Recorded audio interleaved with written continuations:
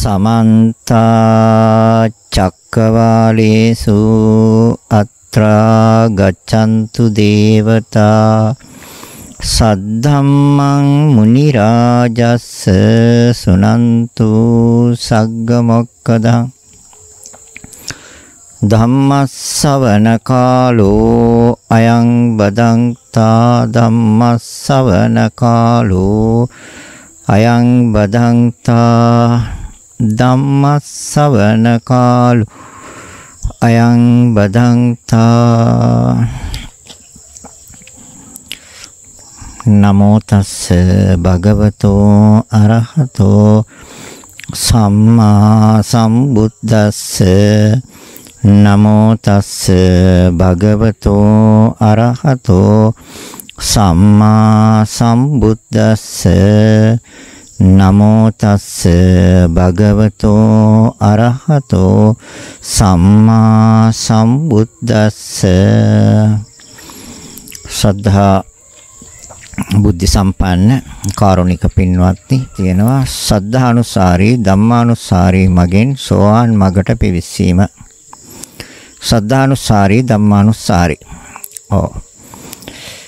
සද්ධාව අනුසාරයෙන් හා ධර්මය අනුසාරයෙන්.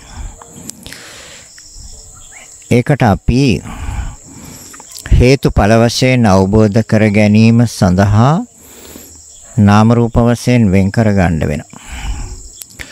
ඒ නාම රූප වශයෙන් වෙන් කරගෙන ඒ නාම රූපයන්ගේ අනිච්ච ස්වභාවය අනිත්‍ය ස්වභාවය සියලු සංස්කාර ධර්මයෝ අනිත්‍යයි කියන ඒ සිතුවිල්ල නැවත නැවත නැවත නැවත බහුල ලෙස පුරුදු කරලා බොහෝ ලෙස පුරුදු කරලා ඒ අනුව තුනුරුවන් කෙරෙහි ඇතිවන ප්‍රසාදය තුලින් සෝවාන් මාර්ගයට පිවිසෙනවා.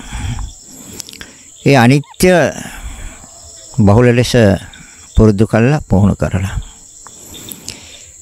ඒ අනුව බුදුරජාණන් වහන්සේ කෙරෙහි ධර්මයේ කෙරෙහි මහා සංඝ රත්නය කෙරෙහි ඒ පිළිගැනීම ඒ පැහැදීම අනුව සෝවාන් මාර්ගයට පිවිසෙන ඒ සෝවාන් ඵලය ලබනවා. ධම්මානුස්සාරී කියලා කියන්නේ අනාත්ම ලක්ෂණය. අනාත්ම ලක්ෂණය බහුල ලෙස පුරුදු කරලා ඒ තුළින් ප්‍රඥාව දියුණු කරගෙන ඒ අනුව සෝවාන් මාර්ගයට පිවිසෙනවා. සද්ධානුස්සාරී ධම්මානුස්සාරී දෙකක්. හැබැයි සද්ධාව අනුසාරයෙන් යන්නත් ධර්මය අනුසාරයෙන් යන්නත් මේ ධර්මතා පහ නම් කොටස් දෙකට බෙදා ගන්න වෙනවා. මොකද්ද? නාමංච රූපංච. නාමය හා රූප වශයෙන් බෙදාගෙන ඒ නාම රූප දෙකේ අනිත්‍යතාවය සහ ඒ අනිත්‍යතාවය බහුල ලෙස කරලා තුනුරුවන් කෙරේ ප්‍රසාදයෙන් පැහැදීමෙන් සෝවාන් මාර්ගයට පිවිසෙනවා. පිවිසීම අනාත්ම ලක්ෂණය මොකද මේ අනාත්ම ලක්ෂණය කියන එක ගැඹුරුයි. ඒ අනාත්ම ලක්ෂණය බහුල ලෙස බොහෝ ලෙස පුරුදු කරලා ඒ තුළින් ප්‍රඥාව දියුණු කරලා ඒ තුළින් සෝවාන් මාර්ගයට පිවිසෙනවා. අපි ඉස්සෙල්ලා නාම රූප වශයෙන් වෙන් කර ගන්න ඕනි. මේ කොහොමද මේ නාම රූප වශයෙන් වෙන් කරන්නේ? මේ ස්කන්ධ පහ ආයතන 12 ධාතු 18 আদি වශයෙන් මේ ධර්මයන් අපි නාම රූප වශයෙන් වෙන් කර ගන්න ඕනේ. ඒකේ මූලික ආරම්භය තමයි සිත කය කියන එක වෙන් කරගන්නේ. සිත කියන්නේ නාම ධර්මයක්. කය කියන්නේ රූප ධර්මයක්. රූප කියන්නේ ශක්තියන් හතරක ක්‍රියාව. සිත කියන්නේ ඒ සිත සිතුවිලි එකත් හේතුඵල ධර්මතාවයක් හේතුන්ගෙන් හටගන්නේ. අර රූපේවත් සතර මහා ධාතුනොත් හේතුන්ගෙන් හටගන්නේ. එතන මේ හේතුඵල හේතුන්ගෙන් හටගන්න බව හොඳට නිවැරදිවම දැනගෙන නිවැරදිව දැකගෙන ඊට පස්සේ එක එක ධර්මයන් වෙන් කරලා වෙන් වශයෙන් අරගෙන සද්ධාව අනුව යන පුච්චලයා ඒව අනිත්‍ය වශයෙන් මෙනෙහි කරනවා. ඒ අනිත්‍ය වශයෙන් මෙනෙහි කරනකොට එයා දකින්නේ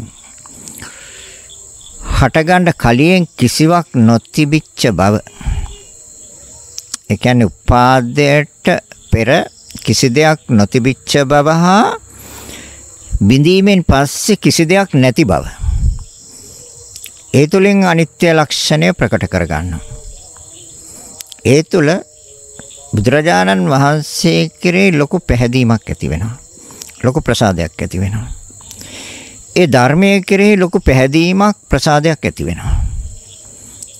ඒ ධර්මයන් දිගහරින විවෘත කරන බෙදලා දක්වන මහා සංඝරත්නයේ කෙරෙහි පැහැදීමක් ප්‍රසාදයක් ඇති වෙනවා. ඒ අනුව එයා සෝවාන් මාර්ගයට පිවිසෙනවා. ඒ සද්ධාව අනුසාරයෙන්. ତර ධම්මානුසාරයෙන් ධම්මානුසාරයෙන් සෝවාන් මාර්ගයට පිවිසෙන පුච්චලයා මේ සියලු සංස්කාර ධර්මයන් කියන්නේ ස්කන්ධ ධාතු ආයතන මේ සියලු ධර්මයන් නාම රූප මේ සියලු ධර්මයන් එය අනාත්ම වශයෙන් මෙනෙහි කරනවා. අනාත්ම කියලා කියන්නේ මොහතක්වත් නොපවතින මොහතකටවත් පැවැත්මක් නැති බව හා තමා වශයෙන් නොපවතින බව. ඒ වගේම ඒ ආකාරයෙන් මෙනෙහි කරනවා. ඒ විතරක් නෙමෙයි. අපි දන්නවා මේ නාම රූප දෙකම පුංචි ස්ථිතියකට එනවා. ස්ථිතිය කියන්නේ පුංචි පැවැත්මකට. ඒ පැවැත්ම හා ස්ථිතිය හා දිරීම ඒ කියන්නේ කැඩීම, බිඳීම, paludu වීම, තුවාල වීම, ඒ වෙනස් වීම. ඒ ජරා. ତර පැවතීම ජරාව හා අතුරුදහන් වීම ඒ කියන්නේ බිඳීම පැවැත්ම දිරීම කැඩීම paludu වීම තුවාල වීම ඒ විපරිණාමය ඒ වෙනස් වෙන ස්වභාවය. හා බිඳීම කියන මේ ධර්මතා තුන. මොකද්ද ධර්මතා තුන? ස්ථිතිය ඒ කියන්නේ පැවැත්ම. එන්නේ චිතක්ෂණ සිතන චිතක්ෂණය රූපන චිතක්ෂණ 17 ඒ ස්ථිතිය දකිනවා. ඒ පැවැත්මයි දකින්නේ. ඒ වගේම දිරීම. ඒ පුංචි කාලය තුල ජරා ව්‍යාධි එයාදී වශයෙන් ඒ සිදුවෙන සිදුවීම දකිනවා. ඒ වගේම බිඳිර අතුරුදහන් වීම. බිඳිර අතුරුදහන් විතර ස්ථිතිය පැවැත්ම හා දිරීම හා බිඳිල අතුරුදහන් වීම කියන මේ කරුණු තුන තමාගේ වශයෙහි පවත්වන්න බැරි බව යන් හොඳින්ම දකිනවා. ඒ දකින්නේ මනසින්. ඒ මනසින් දකින ඒ ස්වභාවයන් තුල එයා ආත්මයක් දකින්නේ නැහැ. ආත්මයක් වශයෙන් දකින්න බෑ කොහොමත්. මොකද අර පැවැත්ම හා දිරීම බිඳීම හා බිඳිලා අතුරුදහන් වීම ඊ타ත්ම කෙටි කාලයක් තුළ සිද්ධ වෙන බව යා නිවැරදිව මනසින් දකිනවා. ඒ මනසින් දැක්කහම යාට ආත්ම කියන මෙච්චර කාලයකට ආත්ම කියන සංකල්පයක් තිබ්බනම් ආත්මයකට අයිති කියන සංකල්පයක් තිබ්බනම් ආත්මයයි කියලා හිතාගෙන හිටියානම් ඒ ආත්මය නැමැති සිතුවිල්ල ඒ ආත්ම සංකල්පය එයාගේ මනසින් බැහැර වෙනවා.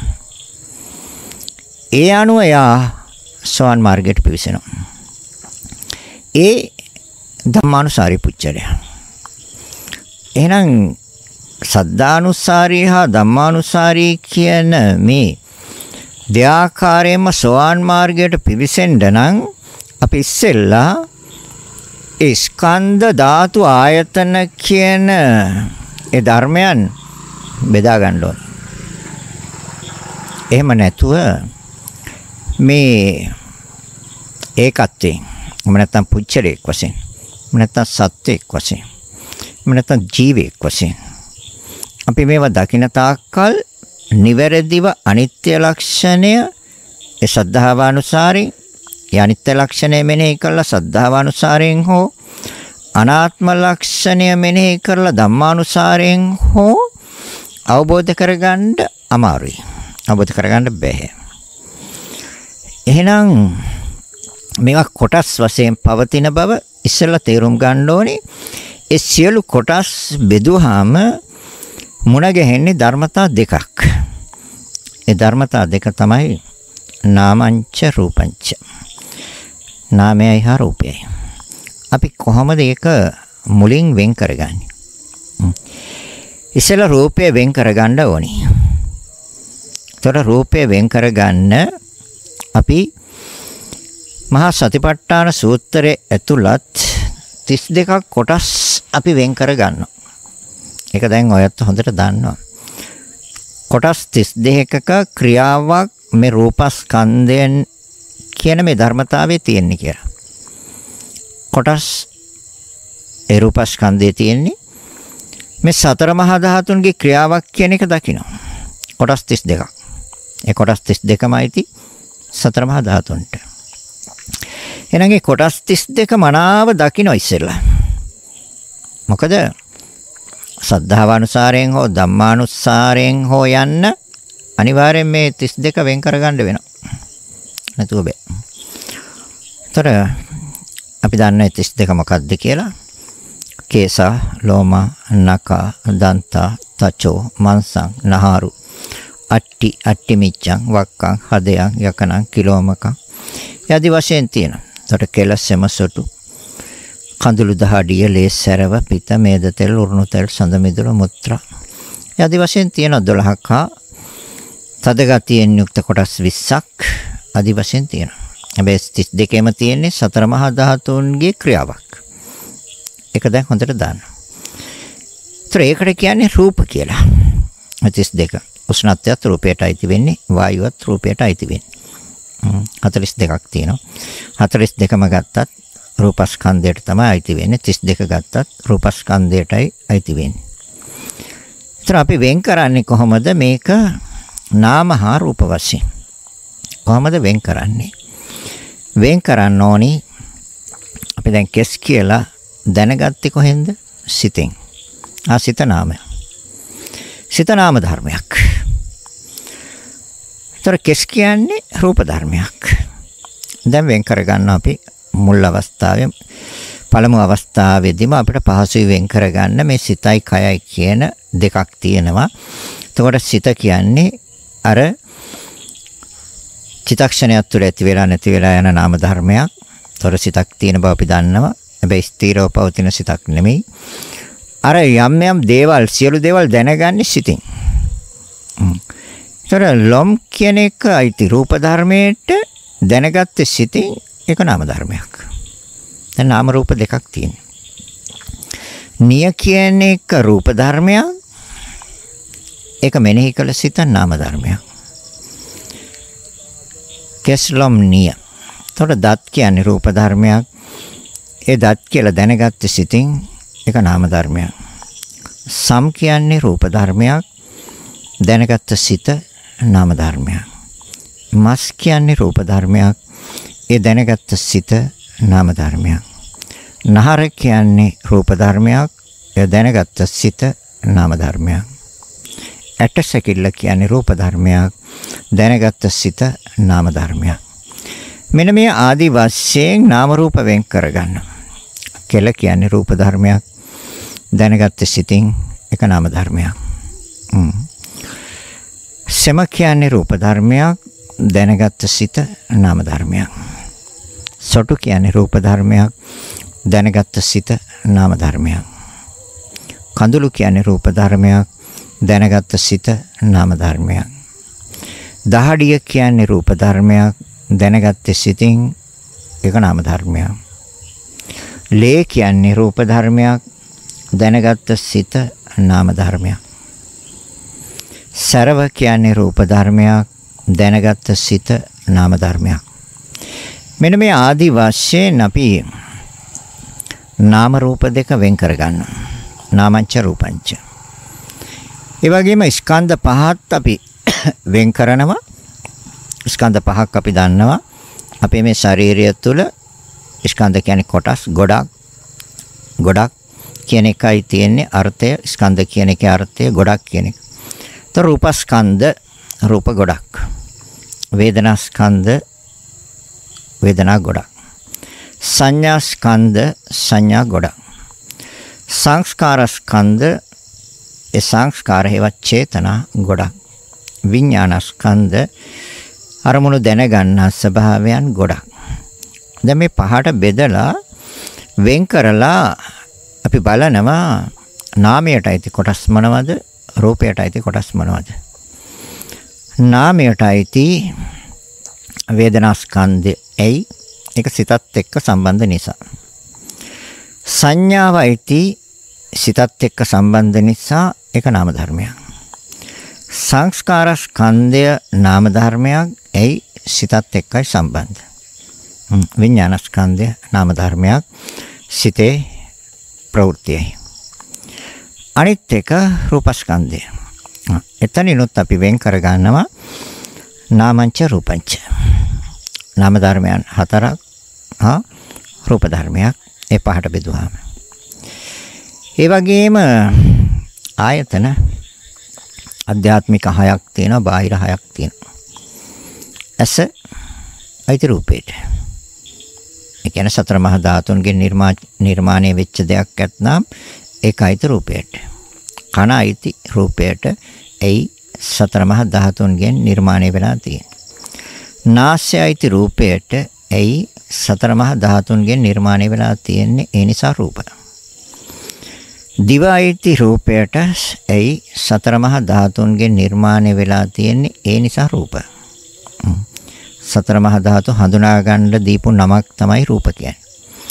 කය අයිති සතර මහා ධාතුන්ට ඒකයිති රූපේට. වේදනා එතකොට වේදනා වේදනා සිතත් එක්ක පැටලලා තියෙන ඒක නාම ධර්මය. එහෙනම් දැන් ඇස කන නාසය දිව ශරීරයයි රූප ධර්මයන්ට සිත නාම ධර්මයක්. ආයතන 6ට බෙදුවාම පහක් අයිති වෙනවා රූපයට එකක් අයිති වෙනවා නාමයට. තවත් ක්‍රමයකින් බෙදනවා. ඒ කොහොමද? ධාතු 18ක් වශයෙන්. ඇස බාහිර රූප ඒ දෙකම රූප. ඒ කියන්නේ සතර මහා ධාතු. ඒ දෙක නිසා හැදිච්ච සිත නාම. කන බාහිර ශබ්ද රූප දෙක නිසා හැදිච්ච සිත සත විඥානය නාම. නාස්‍ය ගන්ධය අයිති රූපයට ඒ දෙක නිසා හැදිච්ච සිත නාමයයි. දිව රසය රූප ඒ දෙක නිසා හැදිච්ච සිත නාමයයි. ශරීරය පහස ඒ දෙකයි ති රූපේට ඒ දෙක නිසා හැදිච්ච සිත කාය විඥානය නාම. මනස බාහිර අරමුණු ඒ බාහිර අරමුණු වලින් රූපයක් නම් අරමුණු කලේ එක රූප. එතකොට මනස නාමය. මනසෙන් අරමුණු කලේ විදීමක් නම් ඒක හඳුනා ගැනීමක් නම් එහෙනම් සිත හැසිරිච්ච ආකාරයක් සිතේ බලවත් බවක් එවත් චේතනාවක් නම් ඒක නාම. ତර ඒ දෙක නිසා හටගත් සිත නාම. මෙන්න මේ ආකාරයෙන් නාම රූප වෙන් කරගන්න ඕනි. ତර නාම රූප වෙන් කරගෙන අපි නාම රූපයන්. ඒතර සද්ධාව අනුසාරයෙන් යනවනම් යම්කිසි කෙනෙක් එයා දකින්නවා කොහමද? අර කෙස් අනිත්‍යයි. කෙස් අනිත්‍යයි. ඇයි අනිත්‍යයි කියලා එයා දකින්නේ? ඒක සත්‍ය වශයෙන්ම නිට්ටය නැති නිසා.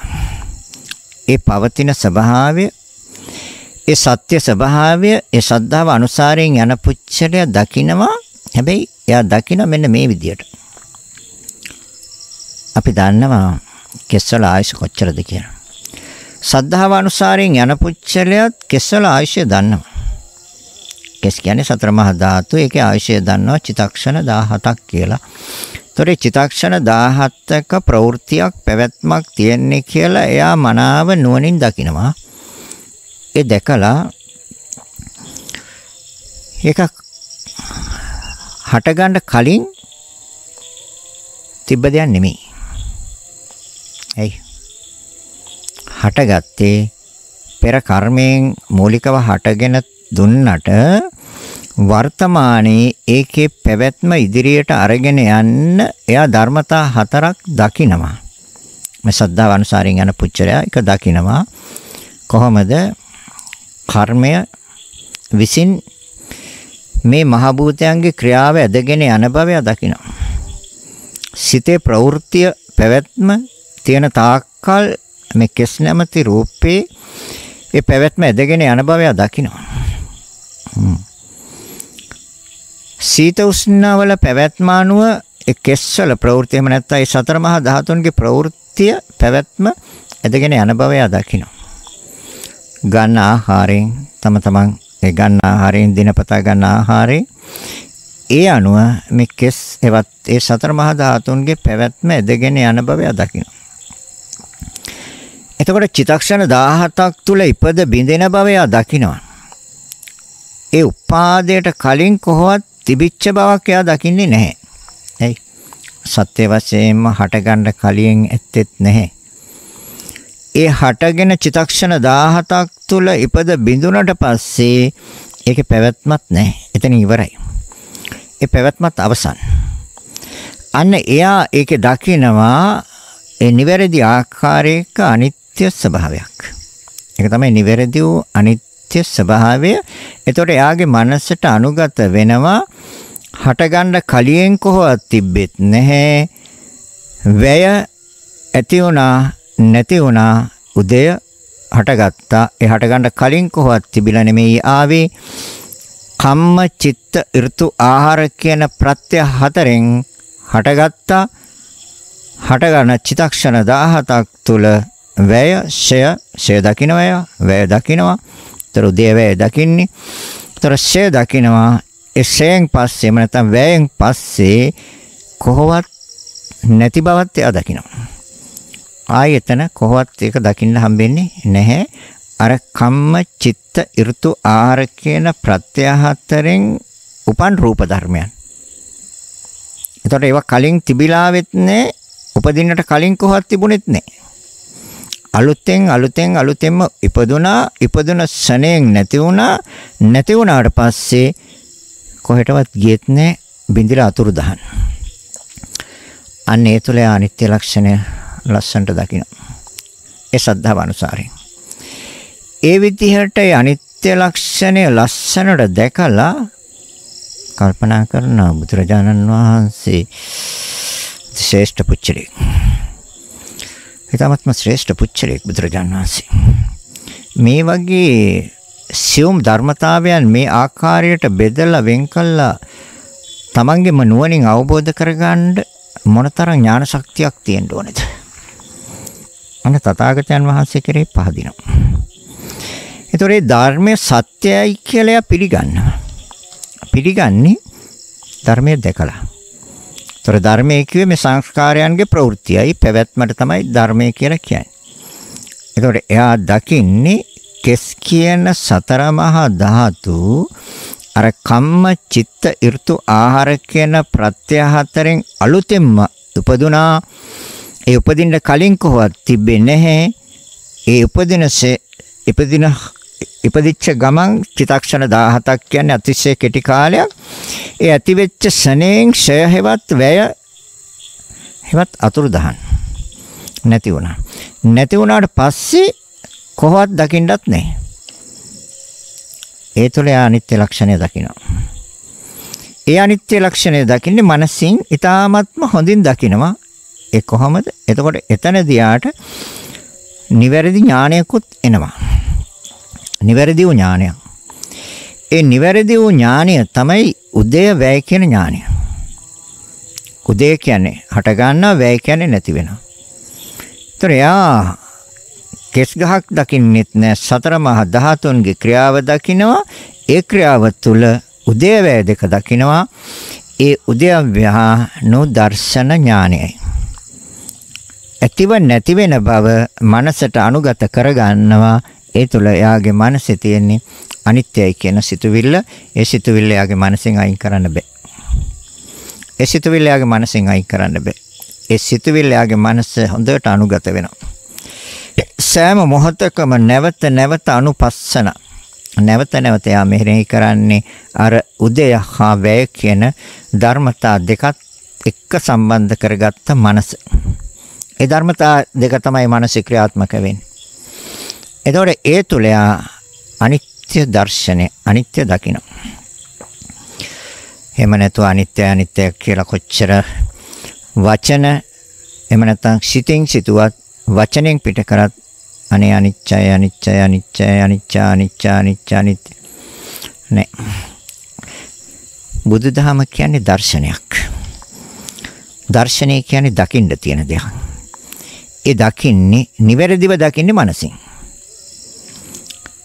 එතකොට කෙස්වල අනිත්‍යතාවයත් අපට පේනවා ඇයි ඒ පේන්නේ ඒ සම්මුති වශයෙන් අනිත්‍යතාවයත් පේනවා ඒ සම්මුති වශයෙන් අනිත්‍යතාවය පේන්නේ ඒක ඉදෙනවා. ඒක පුපුරනවා. ඒක සුදු වෙනවා. ඒක හැලෙනවා. ඒ අනුවත් කල්පනා කරන්න පුළුවන් අනිත්‍යයි කියලා.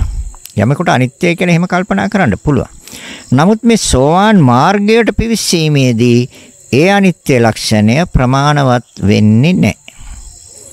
ඒ අනිත්‍ය ලක්ෂණය ප්‍රමාණවත් වෙන්නේ. එයි ඒ අනිත්‍ය ලක්ෂණය සෝවාන් මාර්ගයේදී ප්‍රකට වෙන්නේ නැත්නම් ඒ අනිත්‍ය ලක්ෂණය නිවැරදිව මනසට අනුගත වෙන්නේ හේතුඵල ධර්මයක් එක්ක. හේතුඵල ධර්මයක් එක්ක. දැන් මොකද්ද හේතු? අර කම්ම චිත්ත ඍතු ආහාර කියන හතර කෝ? ආයක තමයි හේතු. එතකොට ඒ ධර්මයන් නිසා අලුතෙන්ම උපදිනවා. උපදින ශනේ නැති වෙන බව එයා දකින්නේ. එතකොට උපදින්න කලින් තිබුණෙත් නැහැ. ඒ හටගෙන චිතක්ෂණ 17ක් තුල වැය හෙවස්ෂය. ඒතර චිතක්ෂණ 17ක් කියන්නේ අපි දැන් කියලා දීලා තියෙනවා. තත්පරයක් ලක්ෂයකට බෙදලා ඊටත් වඩා කෙටි කාලයක් තමයි චිතක්ෂණ 17 කියන්නේ. එහෙනම් ඇතිවන ශණයෙන් නැති වෙනවා.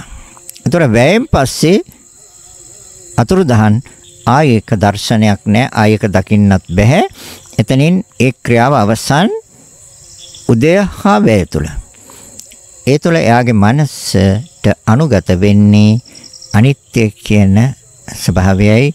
ඒ අනිත්‍ය ස්වභාවය නිවැරදිව මෙනෙහි කරලා නිවැරදිව දැනගෙන නිවැරදිව දැකගෙන සිතට අනුගත කරගත්ත සිතුවිල්ලයි. ඒ අනිත්‍ය ලක්ෂණය දැකපු කෙනාට ඒක සිතෙන් අයින් වෙන්නේ නැහැ. ඒක ස්ථිරයි. ඒක ස්ථිරයි. අනිත්‍යයි කියන්නේ. ඒතකොට එයා කල්පනා කරනවා මේ තරම් සියුම් විදියට බෙදලා පෙන්වන්න නම් බුදුරජාණන් වහන්සේ මොනතරම් ඥානවන්තද මොනතරම් බුද්ධියක්ද ශ්‍රේෂ්ඨ මනසක්ද කියලා කල්පනා කරනවා. එයano බුදුරජාණන් වහන්සේ කෙරේ පහදිනවා. ඒතර ධර්මයේ කෙරේ පහදින්නේ ධර්මයේ කෙරේ පහදින්නේ නිවැරදිව සිදුවෙන ක්‍රියාවට තමයි ධර්මයේ කියලා කිව්වේ. වර්තමානයේ මේ මොහොතේ මේ විශ්වයේ සිදුවෙන නිවැරදි ක්‍රියාවට තමයි ධර්මයේ කියන්නේ. දැන් බුදුරජාණන් වහන්සේ පෙන්වලා දුන්නේ ඒකනේ. අනිත්‍ය දුක්ඛ අනාත්ම කියලා. මේ ක්‍රියා මෙන්න මේ ලක්ෂණ තුන තමයි මේ මුළු විශ්වයම ක්‍රියාත්මක වෙන්නේ කියලා. ඒතොර එයා දකින්නේ වර්තමානයේ මේ මොහොතේ සිදුවෙන ක්‍රියාව. එතකොට බුදුරජාණන් වහන්සේ දේශනා කරපු ධර්මයේ දකින්නේ අනිත්‍යයි. ඒ අනිත්‍ය සිතට ස්ථාවරයි. සිතට සහතිකයි. ආයි ගැටලුවක් නෑ. අපි ගහේ ඉදිච්ච ගෙඩිය බිමට වැටුනහම ආපු අනිත්‍යනේ. ගහේ කොළ ටික ඉදලා හැලුනහම අනිත්‍යයිනේ. එතකොට ගෙයක් කඩාගෙන වැටුණොත් අනිත්‍යයිනේ. පිඟානක් කෝප්පයක් බිඳුණොත් ඕක අනිත්‍යයි නෑ. ඒ අනිත්‍ය දර්ශනය සෝවාන් මාර්ගයට ප්‍රමාණවත් වෙන්නේ නෑ. අනිත්‍යයි තමයි ඒක. හැබැයි අනිත්‍ය කියන මේ නිවැරදි ධර්මතාවය නාම රූප දෙක තුල තියෙන ධර්මතාවයයි ඒ නාම රූප දෙකේ ඉපද බිඳීමයි. උදයහාවේ අන නිවැරදිව දකිනවා. එහෙනම් එයා ඒ කෙස්වලින් නවතින්නේ. අර 32ම පරීක්ෂා කරලා බලනවා. 32ම පරීක්ෂා කරනවා. පරීක්ෂා කරලා බලනවා. බලපහම මොකද්ද දකින්නේ? අපි තව ටිකක් ගමු. අපි දැන් ටිකක් ඕලාරිකව ගන්න. ඇස. ତොර ඇස අපි දන්නවා අනිත්‍යයි. දවන කෙනෙක් ඒක අනිත්‍ය ධර්මයක්. ඔක නිට්ටය ධර්මයක් නෙමෙයි. ඔක අයිති රූපයට. රූපය කියන්නේ සතර මහා ධාතුන්ට. ତොර සතර මහා ධාතුන්ගේ ක්‍රියාවක් තමයි ඇසේ ක්‍රියාව කියන්නේ. එහෙනම් ତොර සතර මහා ධාතුන්ගේ ආයුෂ චිතක්ෂණ 17යි. ඊට වැඩි ආයුෂයක් කියන කිසිම සතර මහා ධාතුන්ගේ ක්‍රියාවක් මේ විශ්වේ නැහැ.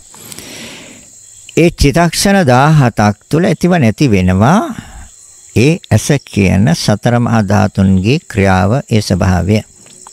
හැබැයි අපට පේනවා අපට තේරෙනවා ඇහක් තියෙනවා. ඒක ඇත්ත. හැබැයි ඇහක් නෙමෙයි තියෙන්නේ අර ශක්තියින් හතරේ ක්‍රියාවක්. ඒතර ශක්තියින් හතරේ ක්‍රියාවට ආයුෂ්‍ය දැන් මෙයා හොයාගෙන තියෙන්නේ. ආ චිතක්ෂණ 17යි.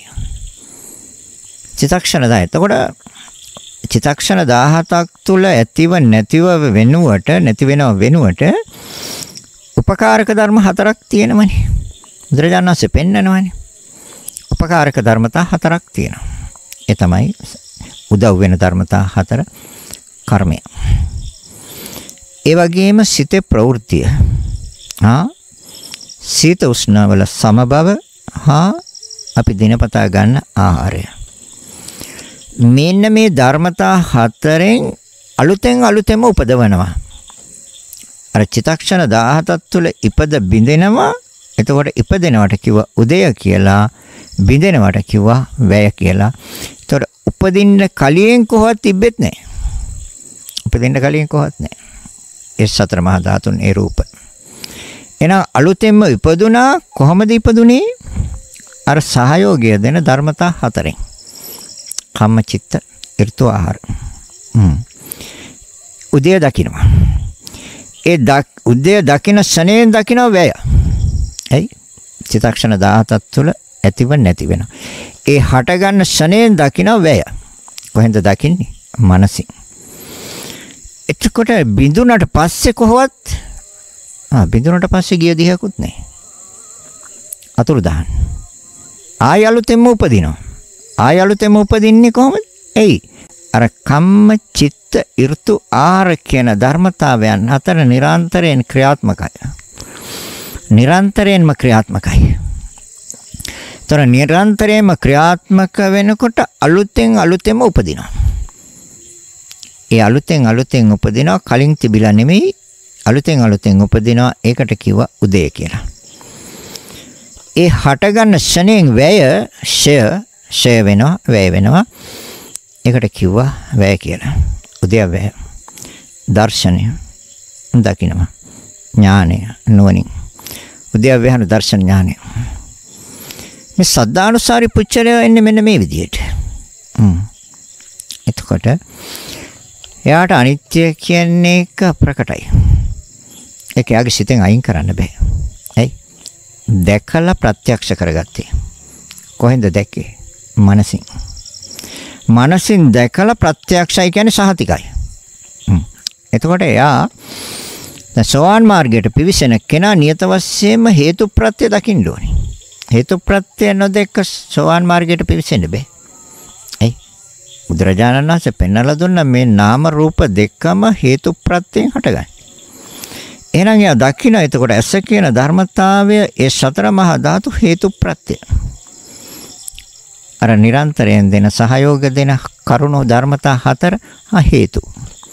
අපලය මේ ඇස නැමැති සතර මහා ධාතුන්ගේ ක්‍රියාවයි. ତර කම්මචිත්ත ඍතු ආහාර එවෙන් නිපදවනවා. නැවත නැවත නැවත නැවත සකස් කරන අලුතෙන් අලුතෙන්ම හදනවා හදන ශනේ නැති වෙනවා. එතකොට එයා උදය දකින්නවා ඒ ශනේන් වේ දකින්නවා. එතකොට උදේට කලින්, ඒ කියන්නේ හටගන්න කලින් කොහොත් තිබුණේ නැහැ කියලා එයා දකිනවා. වැය ඒ හටගත්ත ශනේ නැති වුණා ඒක කොහොත් තැන්පත් උනේත් නැහැ කියලා එයා දකිනවා. ආයි දකින්න නැහැ. ඒ තුළ එයාගේ මනසට අනුගත වෙනවා අනිත්‍ය කියන ස්වභාවය. එතකොට එයා කල්පනා කරනවා සෝ අපි මෙච්චර කල් හිතාගෙන හිටියේ මේ ඇස කියන එක පවතින ධර්මතාවයක් මේක තියෙන ධර්මතාවයක්. අයියෝ මොහොතක්වත් පවතින දෙයක් නෙමෙයි නෙමේක මේ තරම් සියුම්ම මේ ධර්මය අවබෝධ කරගන්න ඒ ශාස්ත්‍රුන් වහන්සේගේ ඒ බුදුරජාණන් වහන්සේගේ ඥානය මොනතරම් ප්‍රබලද? මොනතරම් උසස් මනසක්ද? තථාගතයන් වහන්සේ කෙරේ පහදිනවා.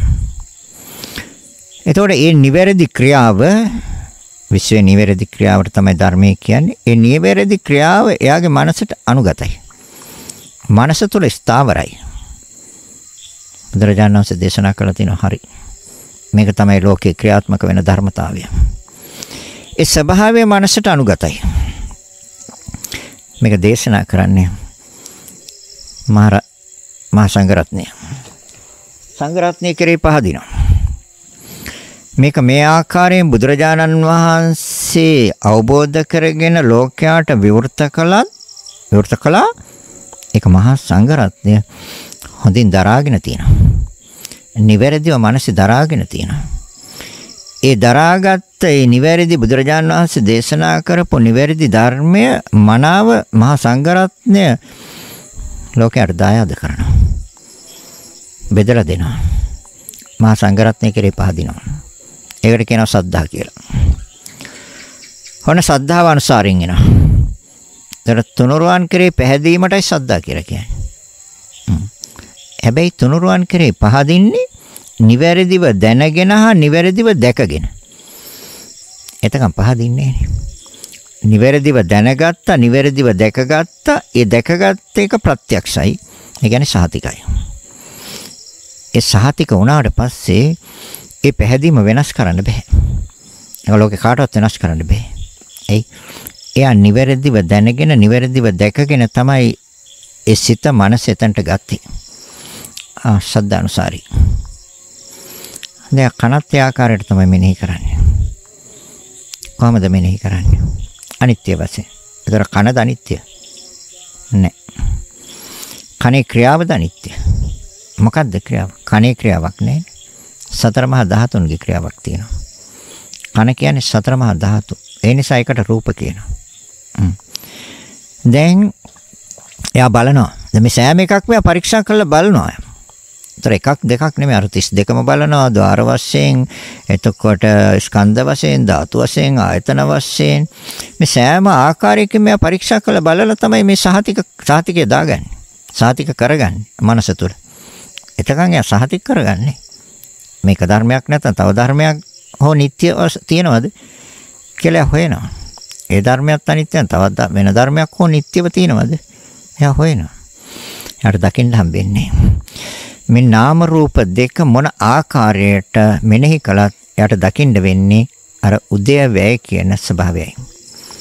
එහෙනම් ඒ සතර මහා ධාතුන්ගේ කන නැමැති සතර මහා ධාතුන්ගේ චිතක්ෂණ 17 තුල උපාදේ දකින්න. හටගන පැවතීම චිතක්ෂණ 17යි හටගන්න ශනේ නැති වෙනවා. හට ගන්නවට කිව්ව උදේ කියලා නැති වෙනවට කිව්ව වැය කියලා. හටගන්න කලින් ඒ කියන්නේ උදේට කලින් කොහොත් තිබුණේ එහෙනම් කොහොමද ආවේ? කම්ම චිත්ත ඍතු ආහාර. හ්ම්. ඒ හතරේ සහයෝගයෙන්. මේ අදගෙන යන්නේ ප්‍රවෘත්ති ඒතර හේතු දකින්නවා ආ මේ හේතු නිසා තමයි මේ පවතින්නේ. ඒතර හේතුඵලය දකින්නේ. ඒතර හේතුඵලත් එක තමයි අනිත්‍ය ලක්ෂණය ප්‍රකට කරගන්නේ. හේතුඵල දර්ශනයක් තුළ.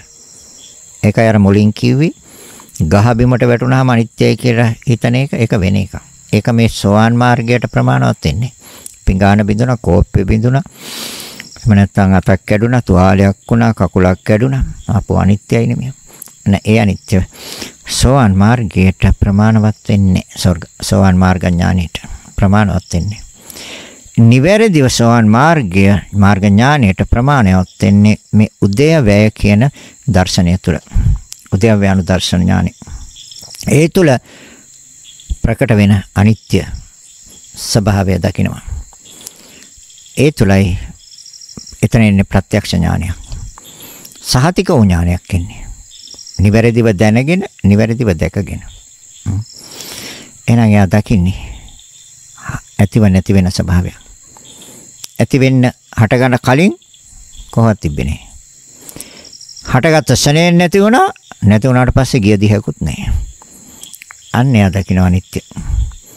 ඒ දකින්නේ මනසින්. ඔය කිව රූපේ. දැන් කියන නාමය. නාමය කිව්වේ සිතනේ. දැන් සිතේ කොටස් හතරක් තියෙනවනේ ස්කන්ධ වශයෙන් බෙදපුවාම. මොකද්ද? වේදනා, සංඥා, සංකාර, විඥාන. වේදනා, සංඥා, සංකාර, විඥාන. දැන් මේකෙන් ගන්න අපි වේදනා. නාම ධර්මයන් හතරට බෙදන්න පුළුවන් ස්කන්ධ වශයෙන් බෙදනකොට ගන්න වේදනාව. වේදනාව ඇති වෙන්නේ සිතේ. අර 17නුත් එකක් තමයි සිතේ ආයුෂ. මොන 17න්ද? අර චිතක්ෂණ 17ක පවතින රූපේ. එතකොට ඒ චිතක්ෂණ 17නුත් එක චිතක්ෂණයයි සිතේ ආයුෂ. ඒතර වේදනාව කියන්නේ සිතත් එක්ක සම්බන්ධ ධර්මතාවයක් එක නාම ධර්මයක්. චිතක්ෂණයක් තුළ ඇතිව නැති වෙනවා. එතකොට චිතක්ෂණයක් තුළ ඇතිව නැති වෙන්නේ කොහොත් තිබිලා නෙමෙයි. වේදනාව අධ්‍යාත්මයේ තිබෙන්නේ. හටගන්න කලින් කොහොත් තිබෙන්නේ. හැබැයි හටගත්ත ශනේ නැති වෙනවා. නැති වුණාට පස්සේ කොහොත් රැඳුනෙත් නැහැ. ඒ කොහොමද? ස්පර්ශය ප්‍රත්‍යය වේදනාවට. ස්පර්ශ ස්පර්ශයට ආයශත් එක චිතක්ෂණයයි. ස්පර්ශයට ආයශත් එක චිතක්ෂණයයි ඒ ස්පර්ශ ප්‍රත්‍යයෙන් හටගන්න වේදනාව නැමැති ඒ සිතේ ස්වභාවයටත් ආයශ එක චිතක්ෂණයයි. එයා උදේ දකින්න. ස්පර්ශයට අනුවයි හැදෙන්නේ. ඒක නිසා තථාගතයන් වහන්සේ දේශනා කරන වේදනා සංඥා සංකාර විඥාන විතරක් නෙමේ සියලුම රූප ධර්මයනොත් ප්‍රත්‍ය පැවතුම් අනුවයි තියෙන්නේ. ඒ කියන්නේ උපකාර අනුවයි පවතින්නේ. එහෙනම් වේදනාව කියන ධර්මතාවය ස්පර්ශ ප්‍රත්‍යයෙන්මයි හොඳට බලන්න යම් විඳීමක් වින්දනයක් වේදනාවක් ඒ සිතුවිල්ලක් සිතේ උපදින්නේ නැහැ ස්පර්ශයක් නොවුනොත් චක්කු සම්පස්ස සෝත සම්පස්ස ගාන සම්පස්ස ජීව සම්පස්ස කාය සම්පස්ස මනෝ සම්පස්ස ස්පර්ශය ස්පර්ශය එහෙනම් විඳින්න නම් යම් කිසි කෙනෙකුට ස්පර්ශය ඕනේ. හැබැයි චිතක්ෂණයයි ආයුෂ චිතක්ෂණයක් තුළ ප්‍රත්‍යයයි විඳීමට ආයුෂ එක චිතක්ෂණයයි ඇතිවන ශනේ නැති වෙනවා. ස්පර්ශයට ආයුෂත් එක චිතක්ෂණයයි හටගන්න යන්නේ එක චිතක්ෂණයයි වැය එක ඒස් එකට හටගෙන නැති වෙන්න යන්නේ එක චිතක්ෂණයයි. නාම ධර්මය. ඒතර හටගත්තේ කොහොත් තිබිලා නෙමෙයි. ඊට කලින් කොහොත් තිබෙන්නේ නැහැ. ස්පර්ශය කොහොත් තිබෙන්නේ. ඒ අවස්ථාවට අනුව එතන තියනවාද යම් ස්වභාවයන් ඒ පරිසරයේ තියනවාද යම් රූපයක් යම් ශබ්දයක් යම් ගන්ධයක් යම් රසයක් යම් පහසක් ඒ අනුව තමයි විඳීම නැමැති සිත හැදෙන්නේ හොඳට බලන්න නැද්ද කියලා. එතකොට චිතක්ෂණයක් තුල හටගන්නවා හටගන්න ශනේ නැති වෙනවා. එයා උදේ දකින්නවා. හැබැයි දකින්නවත් එක්කම දකින්න වෙන්නේ බෑ.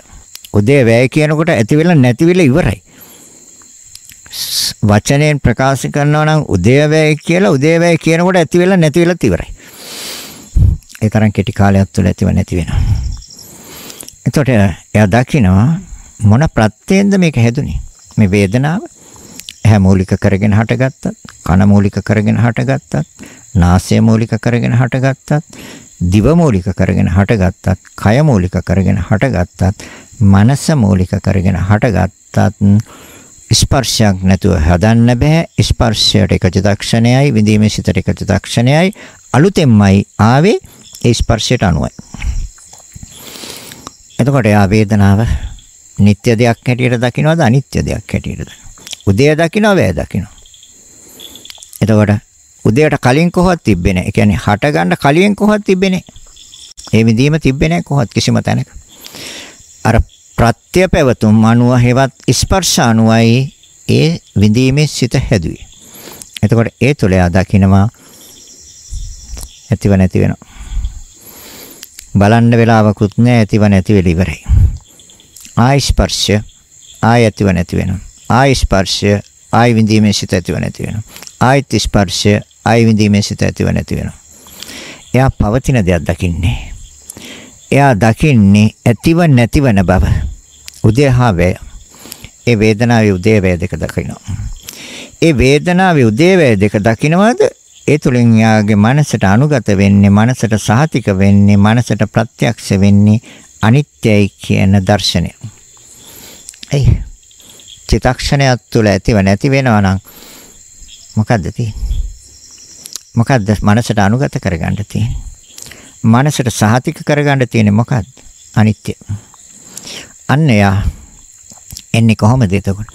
එයා බලන මේ තරම් මේ වේදනාව, තරම් මේ සංඥාව, මේ සංස්කාර, මේ විඥානේ, මේ ආදී මේ අති සූක්ෂම ධර්මතාවයන් මේ ආකාරයෙන් පෙන්වලා දෙන්න මොනතරම් බුදුරජාණන් වහන්සේ බුද්ධිමත්ද? මොනතරම් උසස් මනසක්ද? මොනතරම් නිවැරදි පැහැදිලි අවබෝධයක්ද? කල්පනා කරනවා. තථාගතයන් වහන්සේ කෙරේ පහදිනවා. එයා දකින මේ ධර්මය එතකොට ලෝකයේ විශ්වමේ විශ්වයේ මේ මොහොතේ ක්‍රියාත්මක වෙන්නේ මේ ධර්මතාවයයි.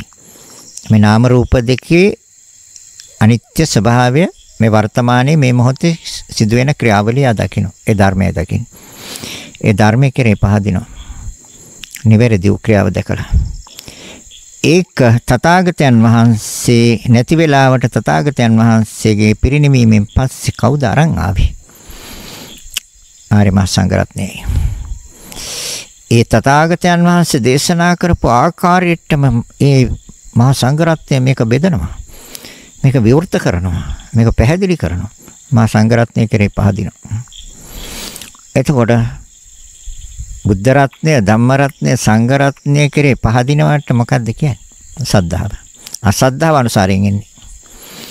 ඒ සෝවාන් මාර්ගයට එනවා සද්ධාව අනුසාරයෙන්. දැන් අපි ගන්නවා ධම්මානුසාරي මොකද මේ පැයක් ඇතුළත තව විනාඩි කිහිපයක් තියෙනවා. සද්ධාව අනුසාරයෙන් කොහොමද එන්නේ? මේ මේ ධම්මානුසාරි.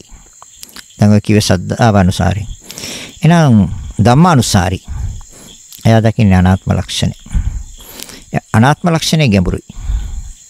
අනිත්‍ය ලක්ෂණය තව ටිකක් පහසුයි. අනිත්‍ය නම් දුකයි කියන එක යාට පැහැදිලිවම එයා තේරුම් ගන්නවා. යම් දෙයක් අනිත්‍ය නම් මේ තරම් කෙටි කාලයක් තුළ ඇතිව නැති වෙනවා නම් ඒක දුකයි කියලා එයාට හොඳටම ප්‍රත්‍යක්ෂයි. ඒතර මේ අනාත්ම ලක්ෂණය නිවැරදිව දැනගෙන නිවැරදිව දැකගෙන ඒන්නේ ධර්ම අනුසාරයෙන්. ඒ මොකද අනාත්ම කියලා කියන්නේ? මොහතකවත් නොපවතින බව දන්නවා, දකිනවා. ඒ වගේම අර පැවැත්ම හා දිරීම හා බිඳිලා අතුරුදහන් වීම තමාගේ වශයෙන් පවත්වන්න බෑ කියලා එයා හොඳට නිවැරදිව දැනගෙන දැකගෙන ඉන්නේ. ඒ සඳහාත් එයා අර විදිහටම මෙනෙහි කරනවා. කෙස්ලම් නියදත් සම්මස්නහර රූපයන් මේ විදිහටම මෙනෙහි කරනවා. ඒවා ඉස්සෙල්ලා වෙන් කරගන්නවා. වෙන් කරගෙන ඒතර එයා දකින්නේ තමාගේ වශයේ පවත්වන්න බැරි බව. දැන් අපි ගමු කොහමද? ඇස ගමු. තමාගේ වශයේ පවත්වන්න බෑ. ස්ථಿತಿ ස්ථಿತಿ කියන්නේ පැවැත්ම. එතකොට ඇසේ පැවැත්ම කොච්චරක් දෙයක් දකින්? චිතක්ෂණ 17ක පැවැත්මක් දකින්නවා යා. චිතක්ෂණ 17ක පැවැත්ම යා දැකලා ඒ ස්ථಿತಿය හැබැයි චිතක්ෂණ 17ක් තුළ ජරා, ව්‍යාධි, මරණ, ශෝක, හැඬීම්, දුක්ඛ දෝමනස්ය මේ සියල්ල එන බව දකින්නවය. ඒ චිතක්ෂණ 17ක් තුල නෙමේ දේශ ක්‍රියාවන් සිද්ධ වෙන්නේ. නැවතත් චිතක්ෂණ 17කට ආයශ තියෙන රූප කලාපාර කම්මචිත්ත ඍතු ආහාර කියන ප්‍රත්‍ය හතරෙන් සකස් වෙන බව දකිනවා. එතකොට දැකලා එයා දකිනවා එතකොට ස්ථිතිය ඒ කියන්නේ පැවැත්ම චිතක්ෂණ 17ක් ඒ 17 තුල ජාති ජරා ව්‍යාධි මරණ ශෝක පරිදේව දුක්ඛ දෝමනස් උපායාසය දකිනවා මේවා දුක් හැටියට දකිනවා ඒ ධම්ම ධම්මානුසාරයෙන් ඉන්නේ ඒතර ඒ තුල යා චතුරාර්ය සත්‍ය මේක දුකටයි එකක්. මේක දුක් හදන එකක්. ධර්මය අනුසාරයෙන්. ඒතර ස්ථිතිය දකිනවා. ඒ කාලය තුල අර ජාති ජරා ව්‍යාධි මරණ ශෝක පරිදේව දුක්ඛ දෝමනස් උපායස්ස හම්බ වෙන බව දකිනවා. සනේ නැති වෙන බව දකිනවා. තමාගේ වශයෙන් තමාගේ කැමැත්තට අනුව නෙමෙයි කියන එක යා දකිනවා. තමාගේ කැමැත්ත අනුවට නෙමෙයි. ඒකට ස්වාමියෙක් නේ. වෙන කෙනෙකුට කියලා මේක පාලනය කරගන්නත් බෑ කියලා යා දකිනවා. ඒ කියන්නේ පැවැත්ම ආ අර දිරීම හා බිඳිලා අතුරුදහන් වීම කියන ධර්මතා තමාගේ වශයෙන් පවත්වන්න බෑ කියන කාරණය දකින්න. ඒ ස්ථිතිය හේවත්තේ පැවැත්ම තමාගේ වශයෙන් පවත්වන්න පුළුවන්ද? තමාට ඕන විදිහට? බෑ. එයි රූපේ නම් චිත්තක්ෂණ 17ක් තුළ ඉපද බිඳිනවා නාමේ නම් එක චිත්තක්ෂණයක් තුළ ඉපද බිඳිනවා. තමාගේ වශයෙන් පවත්වන්න බෑ කියලා දකින්න. ඒ ස්ථිතිය කියන්නේ පැවැත්ම. ඒ පැවැත්ම තුළ එයා දකිනවා ಜಾති හට ගන්නවානේ. ක්ෂණයක් ක්ෂණයක් ක්ෂණයක් පාස හට ගන්නවා. ಜಾති. දිරණ ආකාරය දකිනවා. හ්ම්. විපරිණාමය දකිනවා. පෙරලන ස්වභාවය දකිනවා. ජරා මරණයටමයි පෙරලන්නේ. ජරා මරණයටමයි පෙරලන්නේ. ඒ දිරීම දකිනවා. තොර පැවැත්ම දකිනවා. දිරීම දකිනවා. ජරාව. හ්ම්. තොර ව්‍යාධිය දකිනවා. ලෙඩ රෝග. ඒ චිත්තක්ෂණ 17ක් තුල රූපේන ලෙඩ රෝග මරණය බින්දිර අතුරුදහන් වෙනවා ශෝක කනගාටු හැඬීම් වැළපීම් දුක්ඛ දෝමනස්ය මෙන්න මේ ධර්මතාවයන්ගේ ප්‍රවෘත්තියක්නේ පැවැත්මක්නේ තියෙන්නේ. ඒතර තමාගේ වශයෙන් තමාගේ කැමැත්තේ හැටියට වෙන් කරන්න වෙනස් කරන්න පුළුවන්ද? එයා බලනවා. බෑනේ. තමාගේ කැමැත්තේ හැටියට වෙන් කර අයින් කරන්න බෑ. වෙනස් කරන්න බෑ. අර චරා ව්‍යාධි මරණ ශෝක පරිදේව දුක්ඛ දෝමනස් සුපායස්ස කියන ධර්මතාවයන් තමාගේ වශයෙන් තමාගේ කැමැත්ත හැටියට අයින් කරගන්න පුළුවන්ද? බෑ. ඒ අර ප්‍රවෘත්තියට පැවැත්මට ඉඩ දුන්නොත් එයා දකිනවා මෙන්න මේ ධර්මතාවයන් මන් නියත වශයෙන්ම බාර ගන්න වෙනවා. මගේ කැමැත්ත හැටියට මේ ධර්මතාවයන් අයින් කරන්න බෑ. ඒ කියන්නේ ස්ථිතිය, ඒ කියන්නේ පැවැත්ම හා අර දිරීම, බිඳීම, කැඩීම, paludu වීම, වෙනස් වීම හා බිඳිලා අතුරුදහන් වීම. තමාගේ වශයෙන් පවත්වන්න බෑ. ක්ෂණයක් ක්ෂණයක් ක්ෂණයක් පාසා වෙනස් වන බව දකිනවා. එයි චිත්තක්ෂණ 17ක් තුල ඇතිව නැති වෙනවා. එයා ලස්සන්ට ඒක දකිනවා. උදේවැය යටත් වෙනවා. උදේවැය දකිනවා. එතකොට උදේ දකිනවා අර කම්ම චිත්ත ඍතු ආහාර කියන ප්‍රත්‍ය හතරත් යා හේතුඵල දකිනවා. සද්ධාවනුසාරයෙන් ආවත් ධම්මානුසාරයෙන් ආවත් හේතුඵල දැකලා වනින්න. නැත්නම් සෝවාන් මාර්ගයට පිවිසෙන්න බෑ. හේතු ප්‍රත්‍ය නොදක කවදාවත් සෝවාන් මාර්ගයට පිවිසෙන්න බෑ. එතකොට සද්ධාවනුසාරයෙන් ආවත් ධම්ම ධර්මයානුසාරයෙන් ආවත් එයාට එන්න වෙන්නේ හේතු ප්‍රත්‍යත් දර්ශනය කරගෙන. එතකොට එයා දකින්නේ නිවැරදි දර්ශනයයි ප්‍රඥාව යාගේ දියුණුවයි. ධම්මානුසාරයෙන් එන පුච්චරයාගේ ප්‍රඥාව හොඳට දියුණුවයි. ඒවා තමාගේ වශයෙන් හෝ තව කෙනෙක්ගේ වශයෙන් හෝ ඒකට ස්වාමිත්වයක් හෝ ඒක කියන්නේ බලවත් කෙනෙකුට පවරන්න හෝ කරන්න බෑ කියලා එයා දකිනවා. ඒ නිවැරදි දර්ශන අනාත්ම ලක්ෂණය. අනාත්ම ලක්ෂණය ගැඹුරුයි. අනිත්‍ය ලක්ෂණය එච්චර ගැඹුරු නෑ. එතකොට ඒ අනාත්ම ලක්ෂණය එයා දකිනවා ඇස කියන ධර්මතාවය. කන කියන ධර්මතාවය දකින්නේ අනාත්ම ලක්ෂණය. තමගේ වශයේ පවත්වන්න බෑ. ඒතර කනක් දකින්නේ එයා. එයා දකින්නේ තර සතර මහා ධාතුන්ගේ ක්‍රියාව චිතක්ෂණ 17ක් තුළ ඉපද බිඳින බව එයාගේ මනසට හොඳට අනුගතයි, ස්ථාවරයි, ප්‍රත්‍යක්ෂයි. ඒ වගේම මේකට ස්වාමියෙක් නැහැ. මේක කෙනෙකුට බලවත් කෙනෙකුට කියලා මේක පාලනය කරන්න බෑ. තමාට ඕන විදිහට පාලනය කරන්නත් බෑ. ඇතිවන ශනේ නැති වෙනවා. එතකොට ඒ චිතක්ෂණ 17ක් ස්ථිතියට එන්නේ මට ඕන විදිහට නෙමෙයි.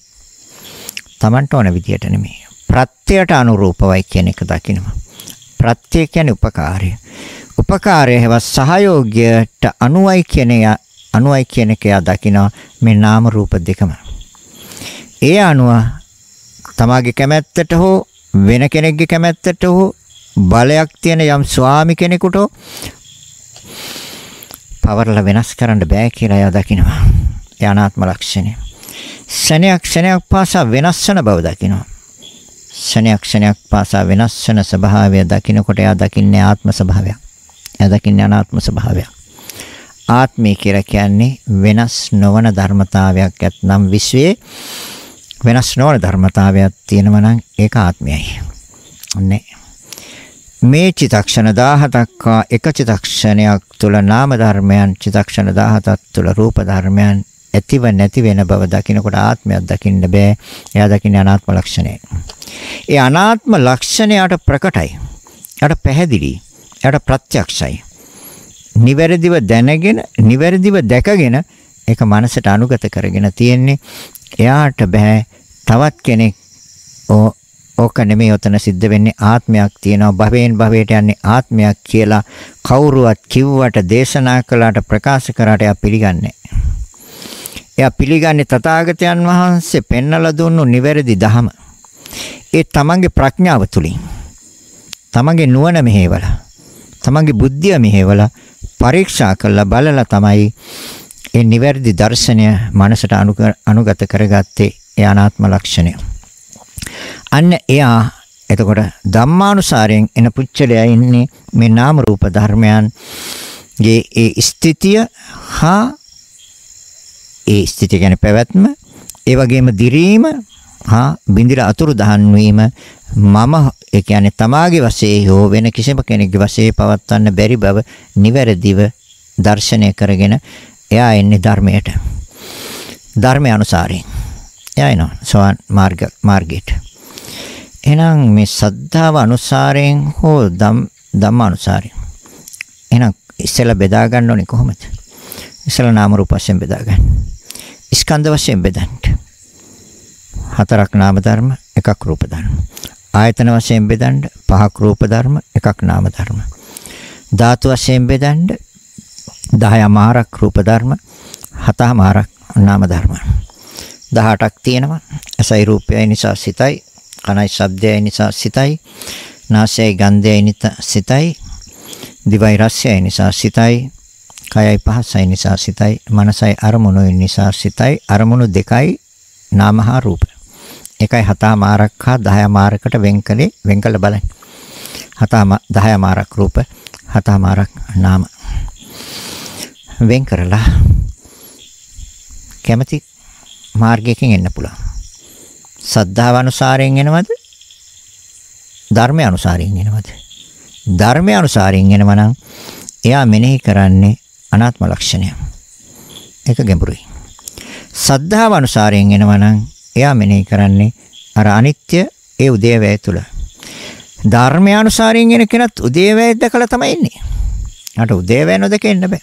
එයා හේතු ප්‍රත්‍යයක් දැකලා උදේවැය දැකලා නාම රූප වෙන් කරගෙන ඒවැ කාලය හදාගෙන ඒවැ පැවැත්ම හදාගෙන තමගේ වශයේ පවත්වන්න බැරි බව එය පැවැත්ම හා දිරීම බිඳීම paludu වීම ඒ විපරිණාමය එයා දැකලා ඒ වගේම බින්දලා අතුරු දහන් වීම එතකොට එයා එතනත් උදේවැය දකින්නවා එයාත් උදේවැය දැකලා එන්නේ හැබැයි එයා එන්නේ අනාත්ම ලක්ෂණේ යනාත්ම ලක්ෂණය කියන එක ප්‍රඥාවයි. ධර්මය අනුසාරයි. එතකොට එයා දකින්නේ මේ මුළු විශ්වයේම ආත්ම සංකල්පයක් නෑට. ආත්මය කියන ඒ මනසේ මෙච්චර කල අනුගත වෙලා තිබ්බ ඒ වැරදි දිට්ඨිය ආත්ම දිට්ඨිය එයා මනසින් අයින් කරන් ඉන්නේ. අනාත්ම ලක්ෂණය ප්‍රකට කරගෙන. ඒ අනුව යස්සවන් මාර්ගයට පිවිසෙනවා. අර උදේවැය දැකලා අනිත්‍ය කියන එක ප්‍රකට කරගෙන උද්‍යව්‍ය ඥානය තුළ අනිත්‍ය කියන ප්‍රකට කරගෙන තථාගතයන් වහන්සේ කෙරෙහි පැහැදිලා ඒ ධර්මය නිවැරදිව දැකලා ධර්මයේ කෙරෙහි පැහැදිලා ඒ ධර්මය නිවැරදිව විවෘත කරන පැහැදිලි කරන බෙදලා පෙන්වන මහා සංඝරත්නය කෙරෙහි පැහැදිලා යන්නේ ඒ එන්නේ සද්ධානුසාරී සද්ධාව කියලා කියන්නේ තුනුරුවන් කෙරෙහි පැහැදීම එහෙනම් කැමැති එකකින් එන්න පුළුවන් සෝවන් මාර්ගයට පිවිසෙන්න මේ ධර්මතා ඕන එකකින් එන්න පුළුවන්. ඉතින් ධර්ම දේශනාව අවසන් කරනවා. ඒ සෑම කෙනෙක්ම ඊට ඉක්මන් භවයකදී උතුම් වූ නිවනින්ම සැනසෙත්වා කියලා. ඉදම් මේ ඥාතිනම් හෝතු සුඛිතා හොන්තු ඥාතයෝ ඉදම් මේ ඥාති හෝතු සුඛිතා හොන්තු ඥාතයෝ ධම්මේ ඥාතිනම් හෝතු සුඛිතා හොන්තු ඥාතයෝ දෙවියන්ට පින් දෙමු. ආකාශට්ටා ච බුම්මට්ටා දේවානාගා මහිද්దికා පුඤ්ඤන්තං අනුමෝදිත්වා චිරන් රැක්කං තුලෝක ශාසනං.